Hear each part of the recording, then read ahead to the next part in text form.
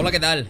Queridos amigos, ¿cómo estáis? Hoy os traigo un vídeo muy pero que muy especial. Un vídeo que seguramente os llegará al corazón, os hará reflexionar y sobre todo creo que cuando terminéis este vídeo saldréis de aquí siendo mejores personas y sobre todo valorando mucho más aquello que es lo más valioso que tenemos, que es nuestra vida. Hoy os voy a presentar a una persona, a un chico muy, pero que muy luchador, muy valiente y que su historia llegó a tocarme mi corazón de verdad. Hoy amigos, os presento en este vídeo a José Antonio Garrido, un chaval de 17 años que ha superado dos cánceres y que como bien dice en su biografía de Twitch, ama la vida. Yo a este chico no lo conocía y un día unos amigos me hablaron de él.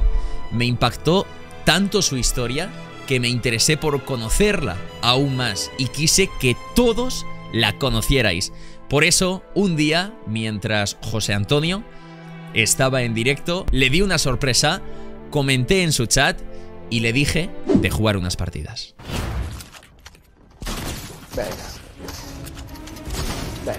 Demasiado. Por todos lados, ¿eh? Venga. Ahora el otro, Garrido. Dame tu kill. Míralo, tío. ¡Payaso!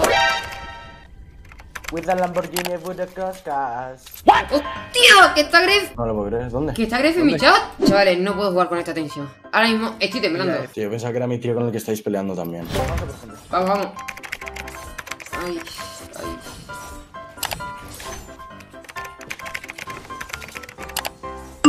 Estoy sudando, no sé ni, ni qué estoy haciendo ahora mismo. Una noche tú y yo. ¡Oh! Ya Que gente, que gente. Gref me ha hablado por Twitter, por MD, diciéndome que cuando eso jugamos y que le cuente mi historia. Y le he dicho que cuando él quiera y que estaba flipando y, y me ha dicho que lo podía decir y tal. Esta fue la primera vez que Garrido, José Antonio, supo que, que yo le conocía y quería jugar con él. En el vídeo de hoy, queridos amigos, conoceréis su historia mucho más de cerca, cómo realmente la ha vivido él. Y lo culminaremos, por supuesto, con una partida al Fortnite. Creo que podemos aprender muchísimo de él, escuchad muy bien todo lo que sale por su boca y en serio creo que saldremos todos de este vídeo viendo la vida de otra forma y sobre todo valorando mucho más lo que tenemos. Disfrutad todo lo que podáis de este vídeo. Garrido, ¿qué pasa? ¿Cómo estás, tío? ¿Qué pasa, David? Nada, que ha, ha sido nombrar mi nombre en tu directo y se me ha petado todo. Vamos a contar su historia, chicos, así hablando tranquilamente va a ser mucho mejor y después ya jugamos al Fortnite y lo celebramos con una victoria o con lo que haga falta. Me dijeron, oye, hay un chico que le vendría súper bien que le pusieras un tweet o que le mandes un vídeo o que le escribas algún mensaje. Vi que también tenías un montón de apoyo y yo dije, oye, pues voy a interesarme por ver lo que le pasa a este chaval y ya está. Entonces, claro, yo entré a tu Twitter y vi algo así como superviviente del cáncer dos veces. Y entonces yo ahí dije, hostia. Entonces ya me interesé muchísimo por tu historia, por lo que te había pasado. Hablé con él y le dije, oye, Garrido, que si quieres un día puedes venir a mi directo y podemos contar tu historia para que la gente lo sepa, que seguro que nos aporta un montón de cosas positivas. Lo que hemos contado de momento es que Garrido pues era un chaval eh, normal, que era muy bueno jugando a fútbol y que pues un día en un partido te empezaste a sentir eh, muy débil y el médico pues después de un montón de pruebas y de una sesión ahí larga de, hospital te dijeron que tenías... eh, tenías una enfermedad muy grave, que es cáncer de sangre, leucemia. Y luego ya pues eh, te empezaron a dar quimio, que es el tratamiento del cáncer, y estábamos eh, hablando de cómo esto te hacía sentir y cómo fue la experiencia en este sentido. El tratamiento ese lo que te hace, como tú has dicho antes, matarte las células buenas de tu cuerpo, matarte las malas. Y básicamente es que tú te encuentras muy mal, muy, muy mal, te encuentras muy flojo. Yo me notaba como que me pesaba mucho el cuerpo. Como si pesaras eh, 100 kilos más. Por ejemplo, yo me levantaba y andaba así. Yo andaba así.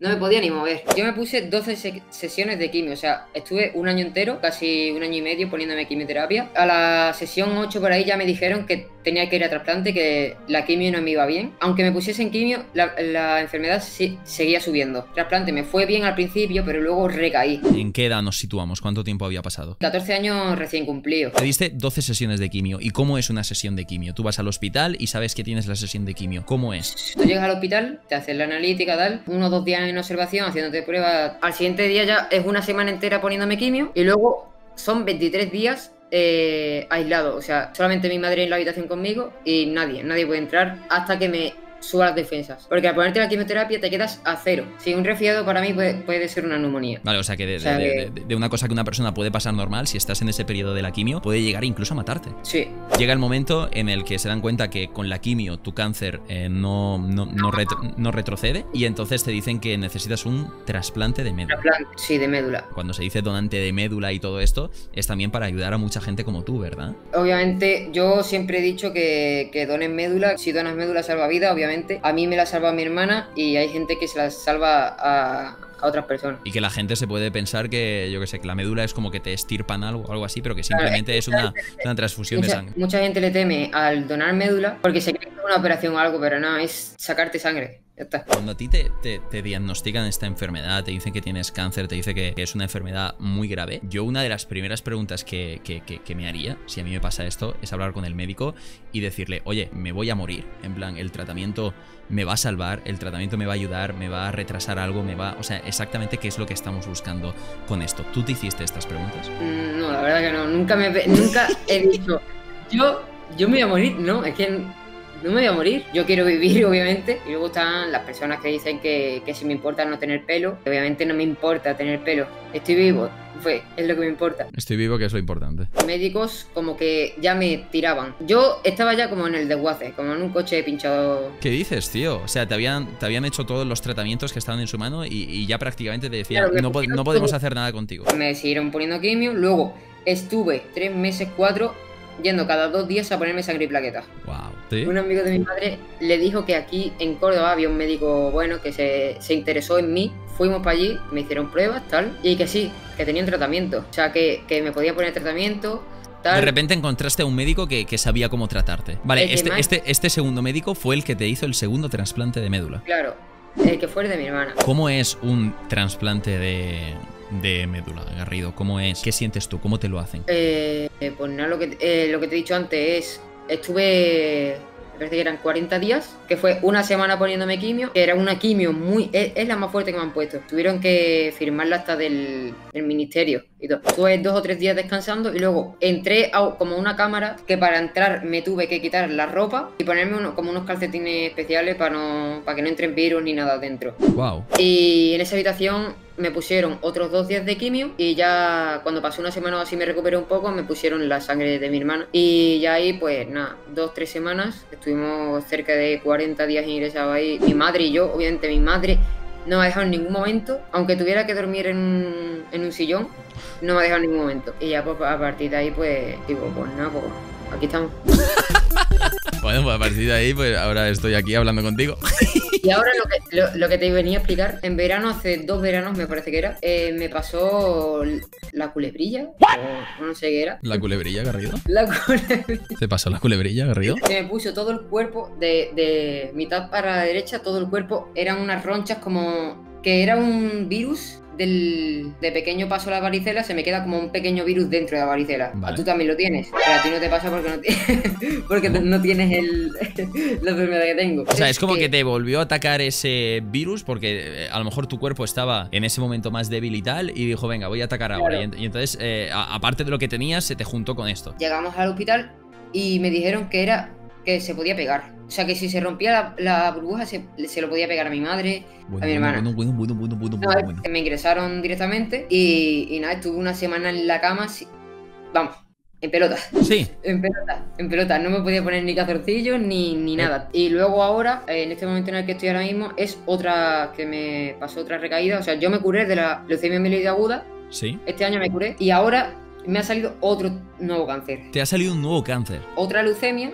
Que, pero es la linfoide, o sea, leu- leucemia linfoblástica. Y pues nada, este cáncer ha sido en tumores, sigo con él y nada, eh, actualizar la vida y poner el cáncer subir por tres. Una cosa que sí que te quiero preguntar, Garrido, y que para mí es, es muy importante, ¿cómo eh, has notado tú que mentalmente eh, te podía afectar mejor o peor a tu enfermedad? Esta es una parte que le he explicado muchísimas veces a lo largo de, de mi enfermedad. Porque todo el mundo me dice, ¿cómo, cómo eres tan fuerte mentalmente con esta enfermedad? Yo siempre lo he dicho, con, estando feliz, nada te puede parar. A mí me han dicho muchas veces que, que si te pones triste y tal, obviamente la enfermedad lo que quiere, que tú estés triste para atacarte. Pero yo en la vida, en la vida he estado triste. Yo con 40 de fiebre he estado bailando en el cuarto de baño. Literalmente hay vídeos en Facebook y es una locura. En plan, tú estando mal, pensando mal y todo, te puede atacar mucho más que si estás bien. Lo único que me ha ayudado más, en plan, ni, ni tratamiento ni leches. Ha sido mi mentalidad. Sí. Es una locura, una locura. Qué bonito que digas eso. Y de aquí, si me ve alguien que esté con esta enfermedad o tenga algún familiar con la enfermedad, decirle que, que no piense en lo malo, que piense en lo que viene después, que esté feliz y, y que le dé caña. Y los videojuegos en concreto, eh, Garrido, ¿cómo te han, cómo te, cómo otra cosa, Porque tú aparte de jugar a videojuegos, streameas y creas contenido y, y- y te mola, ¿verdad? Me mola, me mola mucho. Desde el principio, desde el momento uno, todos los de mi chat y tal siempre me apoyan. Yo al hospital siempre me llevo la play y me pongo allí a, a echar los Fortnite, a. Con, con razón eres tan bueno, cabrón. Anda que no habrás viciado ahí en, lo- en los ratos libres. Te habrás pegado unos vídeos de Lo peor. Yo tengo una teoría que te la voy a confesar y es que eh, creo que cada día vivimos mejor y vivimos más cómodos. Tenemos cosas normalizadas como pulsar un interruptor y que se ilumine todo y que tenga un foco aquí abierto o que abra el grifo y venga agua fría, agua caliente. El ser humano creo que tiende a, a normalizar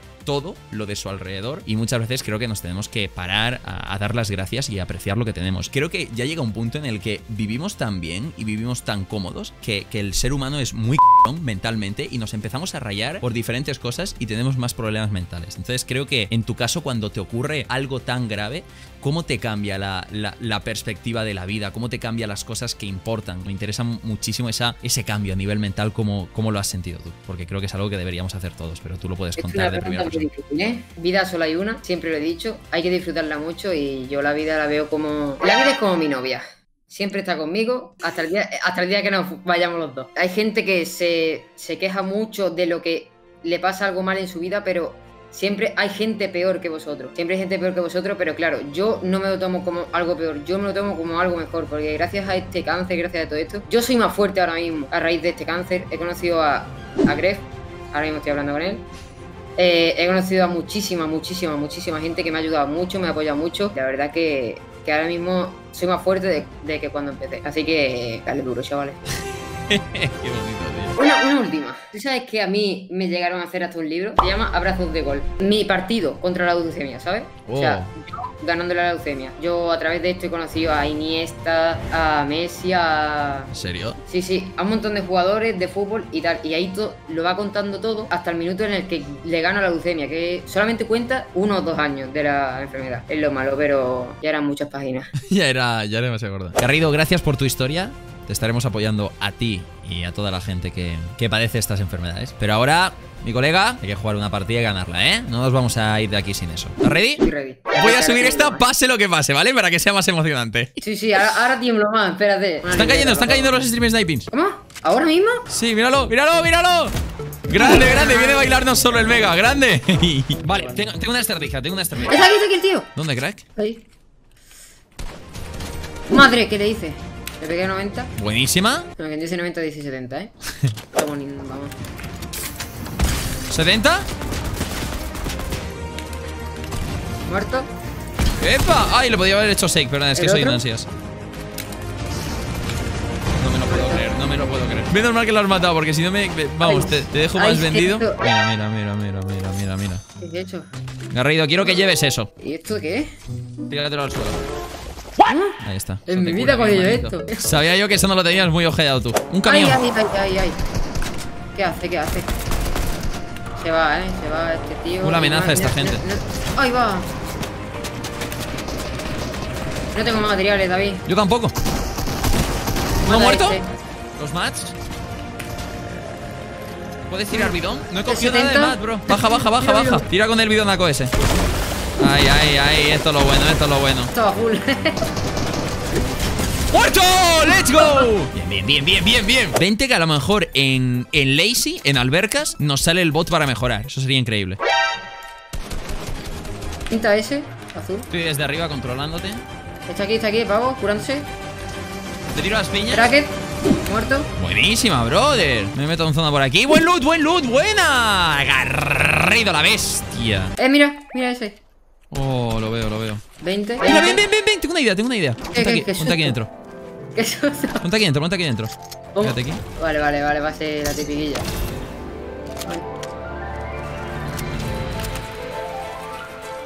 La típica. Eh, ¿dónde está? Ah, vale, que está. Ah, vale, que está aquí. Sí, Sí, está aquí, está aquí. Por eso he subido yo como un tigre puma que soy. que le hice. Se muere, se muere. otro- 50, madre, pero este- ¡Ay, amigo! ¡Let's lo que tienen. Su fusil es eso, no lo verás nunca en partidas públicas. Buah, están allí. Vamos a hacer el salto del escorpión turco. ¿Cuál es ese salto? Yo creo que el que hemos hecho antes. No nos lo tiran, no nos lo tiran porque somos increíbles. Madre, y le caemos en la cabeza. Tú, tú, tú, tú, tú, tú. Ay, no le cae la cabeza, pero vamos. Ay, Yo me tengo que curar porque he caído bien, pero mal. Ha sido raro. Vale, queda el de la derecha que está solo y luego los de Yo iría, enfrente. yo iría primero por los dos. Vamos la partida. Van a subir por aquí. O que está. ¡Eh! Es que lo sabía, tío. Es que lo sabía. Que se han venido para aquí. para- Me curo, estoy arriba. cositas. Sube. Sí, están subiendo, pero. Headshot a este. Buena. 100. Vale, vale, vale. Conservamos aquí altura, bro, que yo no tengo mucho material. Está este aquí, ¿eh? El solo. Muerto. ¡Madre! Buenísima. No estaban solo, ¿eh? No, no estaban solo. Es el compañero del dúo. El, so- solo uno va de negro, brother. Bueno, el solo, que en realidad están los dos solos. Muerto. ¡Buena! ¡Grande! Me cubre rápido, ¿eh? Que va a venir el otro. ¡Que me sin materiales! ¡Me ha matado, guerrillo! ¡Te lo tienes que hacer tú! ¡Me quedas sin materiales justo y me ha rematado y todo! No me lo puedo creer. Lo bueno es que, ¿sabes cuánto más me ha cogido? Una mierda. Míralo. Bueno, mi aim de patrulla canina. ¡Grande! La única partida, ¿eh? La que hemos dicho que íbamos a subir sí o sí. ¡Gran victoria del Garrida! Hermanito, un placer jugar contigo. Eres una puta máquina y creo que hoy hemos aprendido mucho de la vida y de ti y de la vida en general, ¿vale? Te deseo lo mejor, ya lo sabes. Aquí me tienes para cualquier cosa. Vale. Hablamos por Twitter, sí, eso. Adiós, tío, que vaya bien. Adiós. Y queridos amigos, esto no puede terminar de otra forma que con un pedazo de host agarrido. Un abrazo, gente. Espero que os haya gustado esta historia. Espero que os haya gustado, que aprendáis mucho de este chaval y de cómo enfocar la vida en general. Se despide de Grecox. Adiós, amigos. Os quiero. No, way. Vale, ahora sí, ahora sí. Host de The Gref con 34.000 viewers. ¡Qué locura! Dios mío. No puedo leer, no puedo leer. Eh, Gref, si estás por aquí, le daremos otro día. Estaré mejor que ahora y, y explicaremos a los niños cómo se juegan.